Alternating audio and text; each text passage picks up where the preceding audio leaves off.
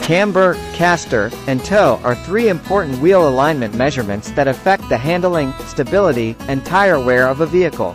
Here's a brief overview of each term. Camber. Camber is the angle of the wheels in relation to the vertical axis when viewed from the front or back of the vehicle. It can be either positive or negative, depending on whether the top of the wheel tilts outward or inward. Camber affects the grip and handling of the tires during cornering and can also affect tire wear. Adjusting camber typically involves adjusting the suspension components and may require replacing parts such as ball joints or control arms. Caster. Caster is the angle of the steering axis when viewed from the side of the vehicle.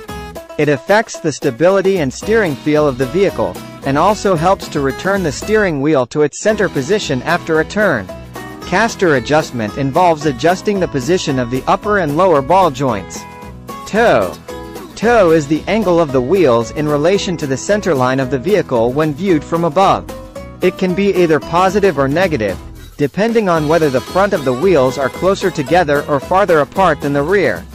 Toe affects the straight line stability and tire wear of the vehicle. Adjusting toe typically involves adjusting the tie rods and may require replacing parts such as ball joints or bushings.